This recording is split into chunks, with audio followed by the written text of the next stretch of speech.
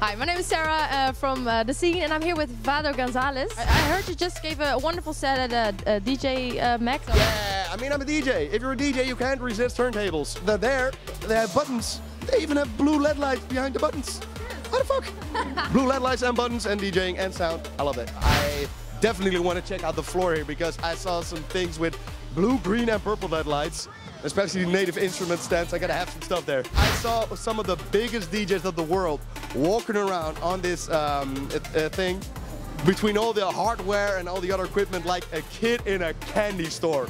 I saw them like twinkling eyes like, oh mommy, can I have that? And I'm talking about grown top 10 beat, uh, DJ Mag DJs. What do you think about uh, other other styles like techno, deep house? Techno is, is techno is techno. Uh, I can't say anything about techno because um, no, not because it's not my kind of sound, but techno has been from the start, from the like the 80s, always been a different thing from house. And to see uh, techno in the same daylight as house music, it, it, it's just it's just a bad idea. Right now, the progressive electro thing is dying. I heard a whole lot of demos right now, and everybody keeps sending me the same record, and that is one minute of beats, then some sort of cheesy ass trance thing, and then just before the beat drops, some MC is gonna say some really witty thing, and then it's going to be like, don't do it. Um, it's not because I hate it, it's because you're not going to get any further with that because everybody is making the, that song.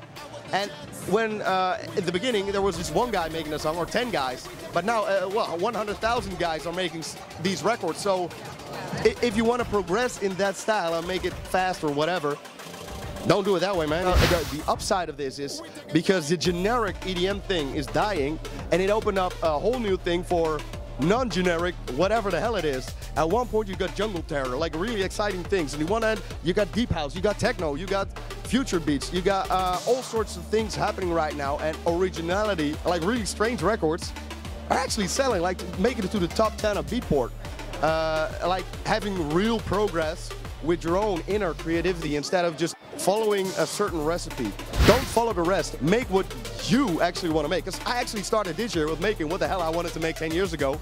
And I got more support on my future house projects right now than I ever had on my EDM thing. I mean, if, if some crazy ass ninja haircut looking strange guy in white leather pants that just had one vodka too many today can make it somewhere, certainly you can.